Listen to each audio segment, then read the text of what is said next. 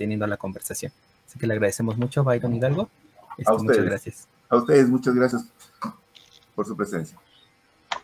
Gracias. Bien, vamos a continuar con nuestra siguiente comunicación, la cual se titula Desarrollo de recursos eh, educativos digitales para la visualización de modelos y moléculas químicas en 3D, eh, gamificación, realidad aumentada y realidad virtual.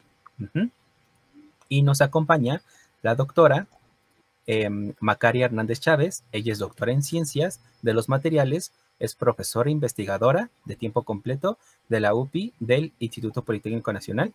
Eh, sus áreas de interés son tecnología tecnologías emergentes, desarrollo de aplicaciones en realidad aumentada, realidad virtual, videojuegos como recursos de enseñanza-aprendizaje, educación 4.0 y vinculación con la industria 4.0.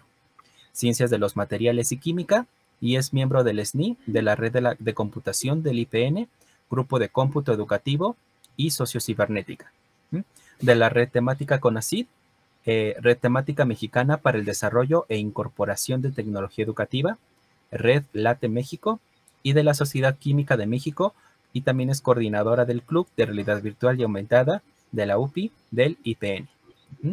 Muchas gracias por, eh, por estar con nosotros, doctora Macaria y le cedo la palabra. Nada más eh, recordarle un poco la dinámica. Son 17 minutos de, presentación y vamos a pasar a 8 minutos de eh, preguntas y respuestas. Y también nos acompaña el eh, Diego Adrián Fabila Bustos. Él es doctor en comunicaciones y electrónica con especialidad en instrumentación fotónica de la ESIME, CUL, CUL IPN. Actualmente forma parte del Sistema Nacional de Investigadores y se desempeña como docente e investigador de la Unidad Profesional Interdisciplinaria de Ingeniería Campus Hidalgo del Instituto Politécnico Nacional. En los últimos años ha trabajado en el desarrollo de, instrumental basado principalmente en electrónica y fotónica para el diagnóstico y tratamiento de enfermedades. Asimismo, ha participado en el desarrollo de proyectos relacionados con las nuevas tecnologías como realidad virtual y realidad aumentada. Entonces, les cedo la palabra Muchas gracias por acompañarnos. Al contrario, buenas tardes a todos. Muchas gracias por, esta oportunidad. Bien, pues eh, vamos a, comenzar un poco con esta charla. Realmente nosotros participamos con una comunicación de práctica en donde, bueno, pues los antecedentes los conocemos, los hemos estado comentando en este bloque de presentaciones, que muy bien converge con el trabajo a distancia que hemos desarrollado ya en estos dos años y medio, incluyendo ya esta nueva normalidad eh, en formato un tanto híbrido para los que somos este, o pertenecemos un tanto al sistema universitario. Y bueno, pues finalmente la pandemia provocada por la COVID-19 pues nos envió a un encierro forzoso, un encierro forzoso. Esto nos obligó a todos los docentes que pues eh, tuvimos que eh, adaptar el proceso de enseñanza-aprendizaje de todas las unidades de aprendizaje al nuevo este, trabajo a distancia. Eh, realmente la, hay muchos reportes, por ejemplo, la UNESCO eh, ha estado documentando cómo eh, cada país hizo el abordaje de este trabajo académico, incluyendo pues el trabajo a distancia, pero pues a partir de enero, por ejemplo, en México empezamos ya regresar a las aulas híbrida, en donde pues realmente eh, hemos tenido un reto, particularmente en los primeros semestres de todas las carreras, porque la cantidad de estudiantes que tenemos es, es, muy alta. Entonces, eh, pues hemos tomado un tanto lo que trabajamos durante la pandemia como recursos de enseñanza-aprendizaje, adaptándolos a esta modalidad híbrida. Eh, realmente ya mi antecesor eh, pudo dar un contexto de la importancia de las tecnologías emergentes. Eh, nosotros pues vamos a abordar tres. Una es la gamificación, que ya se presentaron varios este, trabajos muy excelentes todos en este, en este ámbito. También lo que ya presento de realidad virtual, pero vamos a hacer igual un poquito más de énfasis en la parte de realidad aumentada. Estas tecnologías eh, pues se encuentran ya muy bien documentadas. Como hemos visto a lo largo del día de hoy, pues el desarrollo e implementación en todas las áreas del conocimiento, como la anterior que ha sido pues la parte de matemáticas, la parte de medicina, pues se encuentran ya muy bien este, implementadas. Eh, pues también tenemos una, una, parte eh, orientada al esparcimiento, donde pues todos hemos escuchado a lo mejor un poquito de lo que fue el inicio de la realidad aumentada con este juego muy famoso de Pokémon Go. también en, la parte de medicina que es donde hay un mayor número de, reportes de implementaciones, por la importancia igual que, requiere, obviamente, al usar, este, en este caso, modelos vivos, pero eh, pues nosotros hicimos una adaptación en esta pandemia porque pues realmente estamos interactuando con los estudiantes a través de diferentes dispositivos eh, con acceso a internet y cámara, ya fuese una PC con cámara, una laptop, una tableta o incluso un celular. O sea, lo, lo, que nosotros hicimos en nuestras reuniones síncronas pues fue tener pues internet para podernos este, eh, enlazar con los estudiantes y continuar, continuar con ese trabajo. Finalmente, esto lo que pudo generar, al menos en, este, en esta modalidad de comunicación práctica que queremos este, compartirles, pues fue que todo se fue orientando al, al, trabajo digital, ¿no? O sea, el uso de, de, las tecnologías de la información y la comunicación, de, no solo el trabajo curso, sino también los, los, productos obtenidos por parte de los estudiantes y también eh, formó parte de la evaluación. Entonces, eh, bueno, ¿qué hicimos? Eh, finalmente, pues sí, entramos a la adaptación del trabajo áulico y presencial eh, a un trabajo a distancia mediado por un dispositivo este, con acceso a Internet. Eh, desde el punto de vista de lo que les queremos compartir hoy, bueno, desde el, curso de propiedades de los, estructura y propiedades de los materiales y de química básica, pues nos dimos a la tarea de desarrollar con los estudiantes eh, algunos recursos educativos que involucraran estas tecnologías emergentes. yo pongo aquí un loguito de, de, que es el logo que tenemos en el Club de Realidad Virtual Aumentada que que coordinamos el doctor Diego Favila y una servidora en, la unidad profesional interdisciplinaria de Ingeniería Campus Hidalgo. Y entonces eh, nuestros estudiantes empezaron a hacer un abordaje desde diferentes tecnologías.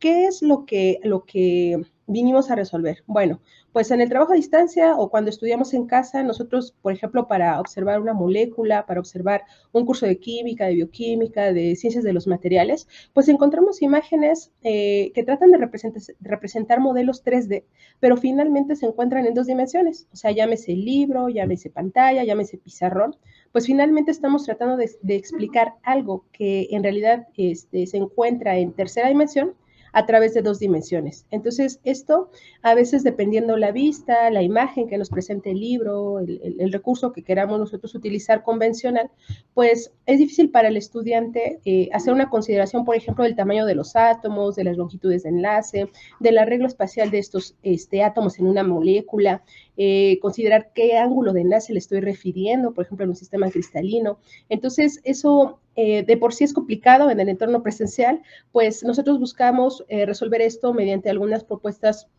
que involucran las tecnologías emergentes. Entonces, lo que hicimos fue desarrollar al menos tres productos que buscan cierto grado de interacción por parte del estudiante. Vamos a ir viendo los grados de inmersión y de interacción. Y también, este, pues, llamar su atención, porque finalmente estamos utilizando motores gráficos como Unity, eh, que son los eh, motores gráficos que se utilizan para el desarrollo de videojuegos. Entonces, pues, esto ayudó mucho a captar su interés y su, y, pues, sobre todo su atención. Entonces, el, el, el la metodología que utilizamos, pues básicamente, pues dependemos de un software que se utiliza para hacer un modelo 3D. Generalmente en las escuelas de ingeniería, pues tenemos acceso por parte del Instituto Politécnico Nacional a licencias. Este, mm, todos los estudiantes, todo, toda persona que cuente con un correo institucional, pues puede acceder de manera gratuita a, lo que es SolidWorks. Entonces, utilizamos un poco este software CAD y también utilizamos otra opción gratuita que es Blender para poder hacer el modelado tridimensional de lo que queríamos representar. Eh, estas son algunas vistas de lo que pues, se observa eh, ya dentro del software SolidWorks y un poco sobre, eh, al trabajar en Blender, eso es el ambiente que, que, se trabaja y lo que se puede ir logrando, pero finalmente todo esto se trabajó en 3D. ya aquí hacemos una distinción, por ejemplo, para la parte de realidad aumentada, nosotros probamos al menos tres opciones. todo se desarrolló en el motor gráfico Unity, eh, pero la, opción que pudimos este, nosotros implementar, pues fue utilizar un poco, por ejemplo, de Euforia para, para poder tener una aplicación desarrollada para un celular eh, Android o, este, sobre todo para, hemos desarrollado cosas para Android, no, ahora no para Mac, pero este, probamos un poco con Euforia, un poco con ICR, porque algunos utilizan marcadores, targets eh, físicos impresos y otro tipo de realidad aumentada, pues simplemente es un reconocimiento de imagen con ayuda de la cámara y le permite al estudiante hacer la proyección donde, donde él se encuentre, con ayuda simplemente de, la, cámara. En la parte de realidad virtual, pues tuvimos dos, este, dos productos, ¿no? Uno más inmersivo, con ayuda de lentes de realidad virtual, Oculus Rift, y uno un poco semi-inmersivo, con ayuda de recorridos virtuales en primera y en tercera persona, con ayuda justamente de este motor gráfico Unity.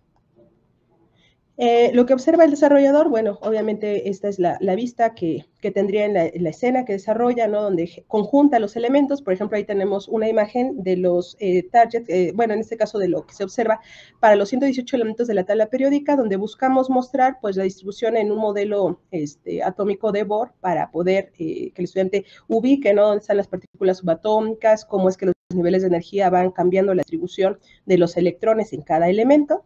Y se, hizo una aplicación portable, aquí la, vemos algunos de los, de, eh, vemos ya la interfaz, por ejemplo, en el menú principal, pues se observa este, pues un poco de los, de, los elementos, los créditos y las eh, demás entradas que podemos tener. Lo enfocamos un poco a lo que es eh, un poco de química inorgánica, un poco de química orgánica, para que el estudiante pudiese visualizar estas moléculas orgánicas eh, que a veces son difíciles de distinguir y también que pudiese tener una, una visualización de los elementos por grupo, por grupo este, al que pertenecen. Lo que el estudiante observa, bueno, utiliza un target físico, es una impresión, y entonces él puede observar a través de la interfaz que es el, dispositivo móvil con acceso a cámara, eh, esta, aplicación se instala y ya para su uso, pues no requiere acceso a Internet para utilizarse. Y entonces la puedo usar cuantas veces él quiera para visualizar cada uno de los monómeros de un polímero, para eh, visualizar a lo mejor un material cerámico, para visualizar un óxido, un, hidrocarburo, una mina, una amida, un ácido carboxílico, un éter, un éster. Este, la intención es que tenga toda la gama de, ejemplos, eh, modelo de cada tipo de función química orgánica o grupo funcional, y entonces él pueda este, eh, ver todos estos elementos, ¿no? Un poco interactuando, porque el dispositivo me va a permitir, pues, eh, visualizarlo, ¿no? Este, 360 en el plano y a 180, ¿no? Este, ah, o sea, el límite es el, papel, la impresión, y este, él puede tener algunos gestos por medio del dispositivo para ampliarlo, acercarlo, girarlo. Esa es la, propuesta. Esto ya se pudo testear, o sea, se pudo tener un, la, la, la UPAC, organizó el año pasado una semana donde eh, nos reunimos un día a nivel global a hacer eventos este, donde involucramos a la química y a los estudiantes. Y entonces nosotros participamos con un evento donde pues los chicos pudieron probar estos targets, eh, verlos este, y realmente hacer una evaluación porque quisimos validar este, por medio de un instrumento de evaluación eh, los resultados obtenidos al, al, tener ese tipo de interacción. Lo sorprendente fue que solamente el 20% de los estudiantes ya tenían alguna idea o habían tenido uso de la realidad aumentada, o sea, todavía no, no es muy común, pero sí este, pudieron participar evaluando, instalando la, aplicación y este, testeándola. Esto es lo que observa, o sea, si ustedes lo ven, pues el taller puede estar en tu mano, ¿no? Y lo puedes tener, este, visualizar, ¿no? A través del dispositivo, y eso es lo que observa el estudiante en diferentes entornos, cerrados, abiertos, etcétera. Eh, aquí lo que este, ingresé, pues es un poco otro, otro producto de los que obtuvimos, que en este caso fue más orientado a eh, hacer un recorrido virtual. O sea, hay chicos que son muy fans de los videojuegos. Entonces, por ejemplo, un producto que obtuvieron dos de mis estudiantes, Marcos este, Asael Sosa Bárcenas y Víctor Axel Morán Andrade. Ellos desarrollaron por medio del motor de gráfico de Unity un recorrido virtual, como si fuese un museo en donde ellos, bueno, muestran de una manera un poco más interactiva, como si fuese la vista de un jugador, este, en las diferentes salas, las diferentes unidades del curso. Y entonces el estudiante entra como si fuera un videojuego y puede observar, por ejemplo, un poco, este, en un aspecto un poco semi-inmersivo, los siete sistemas cristalinos, donde puede distinguir, pues, cuál es el ángulo alfa, beta, gamma, ¿no? A los que hace referencia cada sistema cristalino, un poco las longitudes de enlace, cómo se relacionan entre sí, para poder hablar de cada, de cada característica de los sistemas. Y eso permitió que el estudiante, pues, como que llamara o atrayera su atención hacia esto, porque realmente hay chicos en, en, los salones, ¿no? Que son muy fan de los videojuegos y pues sí les atrajo, ¿no? Y ahí viene una infografía donde él puede, pues, ver un poco más de información, dependiendo, pues, podemos como docentes orientar actividades para usar este recurso y este, así se desarrollaron varias salas en el museo. Esto me parece muy atractivo, muy importante. A veces en los, en los diferentes tipos de empaquetamiento preguntamos al estudiante, ¿no? ¿Cuántas esferas conforman a cada, cada celda, ¿no? Cúbicas simples, entrada en el cuerpo, en las caras, y a veces olvida cómo suman las fracciones, ¿no? Los octavos que tienen los vértices. Entonces, este, esta, esta animación tan sencilla, lo que le hace al estudiante ver es que son dos enteros, ¿no? Eh, y, y, puede de manera este, un poco más gráfica visualizarlo. Entonces, creo que son este, aportaciones muy valiosas que le permiten al, mismo estudiante mostrar lo que a él mismo se le complica, ¿no? Utilizando pues estas, este, este tipo de, interacciones, estas monografías que, bueno, permiten profundizar si así lo requiere, pero bueno, no, no me permitiría el tiempo este, recorrer todo el museo, realmente ellos elaboraron todo el museo, pero sí tiene salas muy importantes. Por ejemplo, aquí se muestran los monómeros de, de todos los tipos de polímeros con sus infografías, pero este, puede estudiante ver estas moléculas, ¿no? Hay este, conceptos que se abordan, este, él puede verlo desde cualquier perspectiva, realmente como si estuviera en un museo haciendo un recorrido virtual y enfocando su atención a lo que, a lo que él este, busca, a lo mejor de información específica sobre el curso, porque sí se desarrolló el curso curso completo en, el recorrido virtual. Se ven ahí diferentes tipos de interacción, ¿no? Tipo videojuego para que él pueda este, sentirse como más a gusto en, el autoestudio, porque realmente la pandemia orilló mucho a que el estudiante pues se eh, eh, implementara, ¿no? Este, un poco el autoaprendizaje. Eh, el siguiente, bueno, aquí hay algunas vistas que me parecen muy relevantes, son en las que hice énfasis. No me da mucho tiempo, pero por ejemplo viene una sección de electroquímica igual animada, que, se puede ver. Y la tercera y última este, propuesta que les quiero presentar para no, no abusar del tiempo es esta, que esta sí es 100% inmersiva y lo que busca es que a través de los lentes de realidad virtual, de los Oculus, en este caso son Oculus Rift, el estudiante ve estos mismos elementos sobre los que centramos y donde vimos que el estudiante pues fallaba un poco más en las evaluaciones, las tuviera a su alcance distribuidas en ambiente como un laboratorio de química y en cada mesa se hace un abordaje distinto, ¿no? Esta primera mesa les recuerda lo que ya les presenté de los siete sistemas cristalinos. Acá vemos modelos abstractos de de orbitales atómicos, ¿no? Que al estudiante le cuesta mucho visualizar, ¿no? Entender cómo está la disposición espacial de un enlace tipo pi, sigma, un, un orbital híbrido SP, SP con 2, SP3, una mesa donde, pues, de alguna manera, dos años no tuvieron acceso a laboratorios, entonces la identificación de los materiales de laboratorio, de acuerdo a su clasificación, también la tratamos de incluir en estos, en estos elementos para que al menos los trataran de ver un poco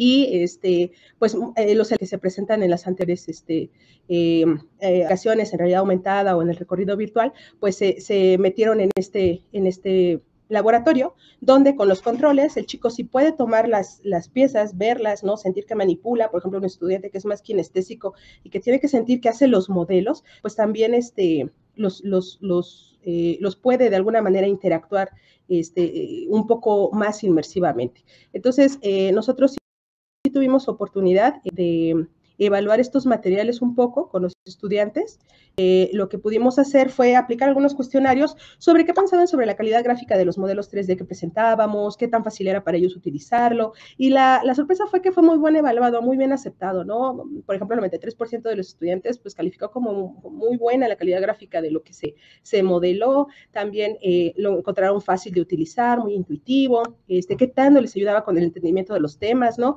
Y qué tan interactiva era. Sin embargo, bueno, pues finalmente pudimos igual hacer el contraste porque esto se trabajó durante un semestre con el semestre virtual donde no se evaluó eh, utilizando estos recursos y sí se encontró que para los estudiantes el 25% de ellos lograron un incremento en su pues en su rendimiento académico, o sea, en sus evaluaciones.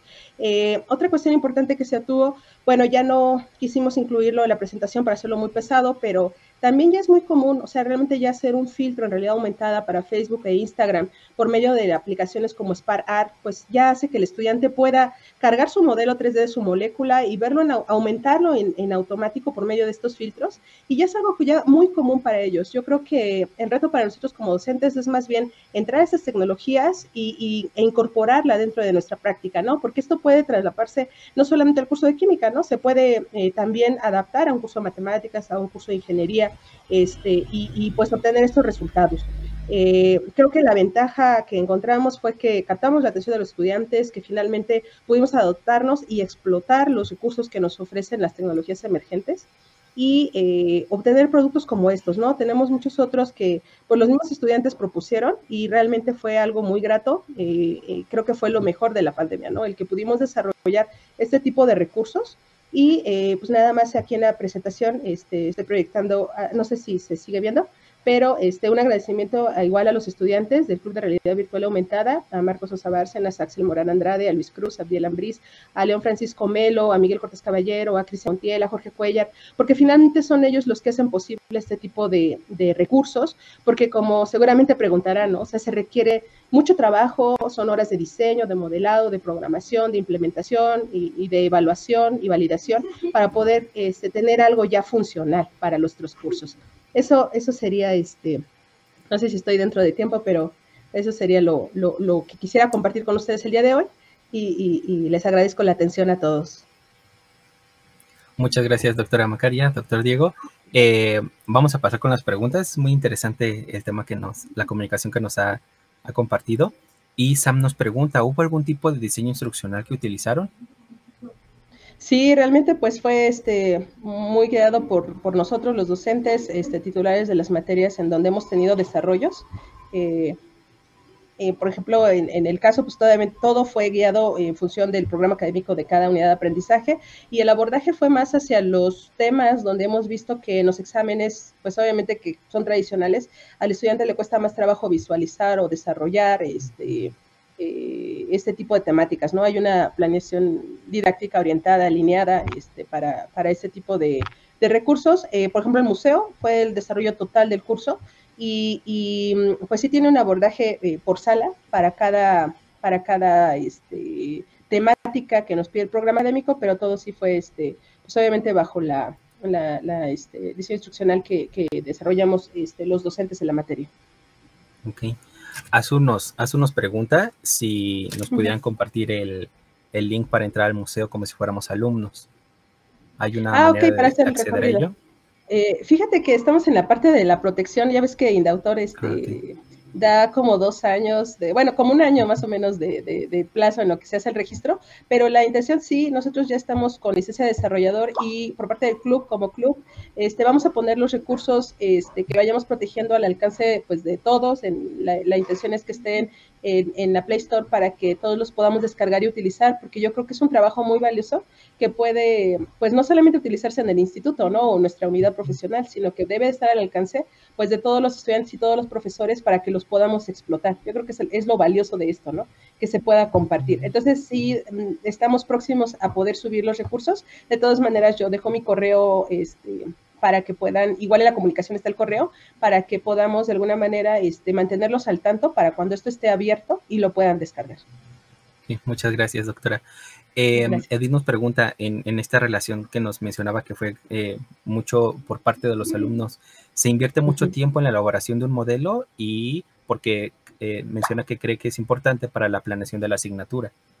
Sí, fíjate que realmente es un trabajo que se hizo durante el semestre. A, nosotros en el nivel superior, en el instituto, trabajamos el modelo semestral y este trabajo se desarrolló eh, por semestre. Cada trabajo este, fue, fue el trabajo de, uno. Por ejemplo, el museo fue entre dos estudiantes porque sí fue un poco más complejo, más completo. Este, Axel Morán y Marcos Sosa trabajaron durante el semestre. Este, durante el semestre les dimos esa, esa guía y ese, ese trabajo conjunto con ellos y, sí, y sí, el trabajo es de seis. La aplicación, por ejemplo, la de UPIRA, la que muestra las moléculas en aumentada, también tardó seis meses, pero fue un solo estudiante. Y, eh, el museo virtual que vieron, con lentes, este, también fue un semestre de un solo estudiante. Entonces, en promedio son seis meses de desarrollo, porque es un trabajo guiado y conjunto con, con los docentes.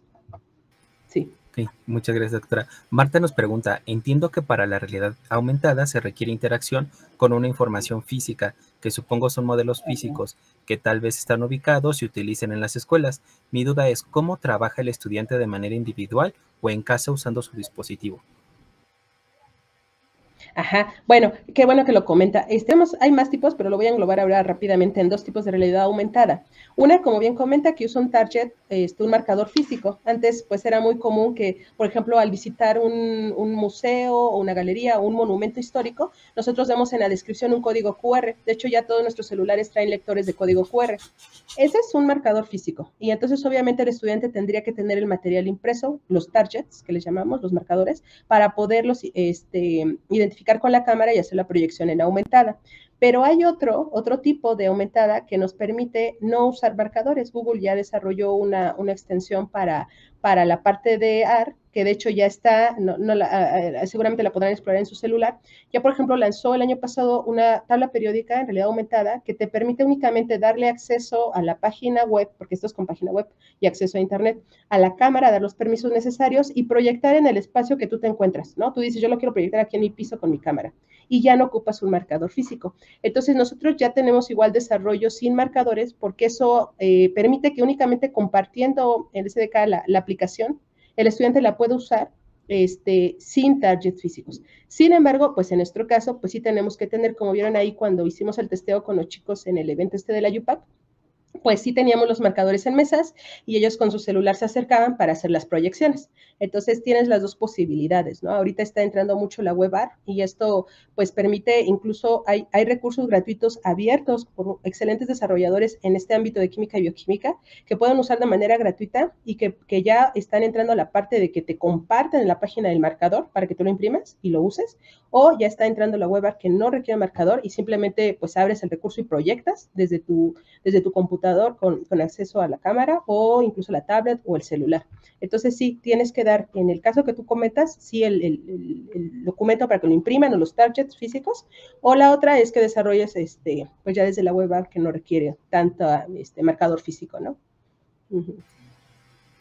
muchas gracias. Y en este sentido, porque eh, pues para todo esto hay, hay un costo, ¿no?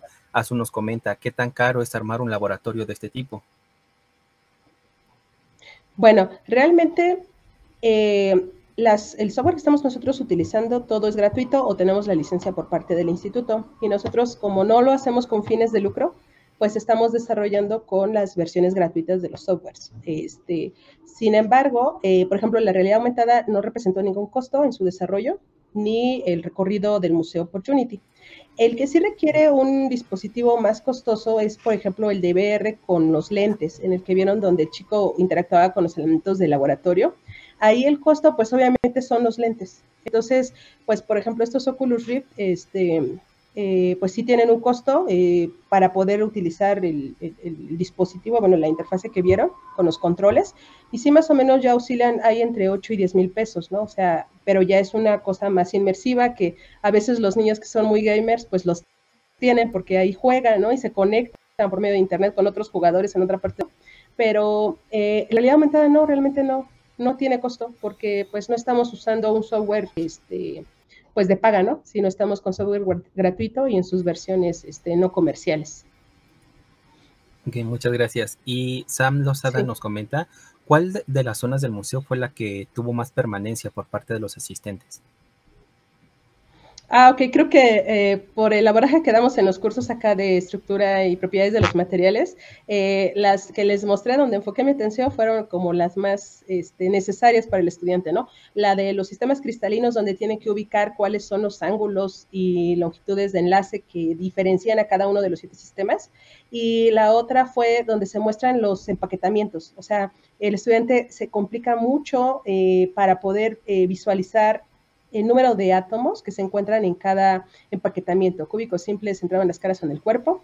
Eh, la otra que gustó mucho y que les pues sí, sí, les ayudó bastante fue la parte de los monómeros de los polímeros, o sea, distinguir, ¿no? Este, todo, la clasificación polímeros, cómo son los monómeros. Esa parte es, compleja por, por la, el número de átomos que, se ven en las moléculas y los materiales cerámicos, porque también era complejo para ellos ver, por ejemplo, la red del grafito o, por ejemplo, no sé, hablar de grafeno, o sea, todas esas estructuras tridimensionales son más complejas y por último, diría que la parte de electroquímica, ¿no? O sea, cuando ya tengo o una celda de Daniel, si ellos tienen que ver, ¿no? Cómo es que funciona la celda, esa animación les gustó mucho. Creo que son las, las cuatro zonas que pues fueron donde dedicaron más tiempo, ¿no? Para poder entender muchas cosas que escritas no las identificaban.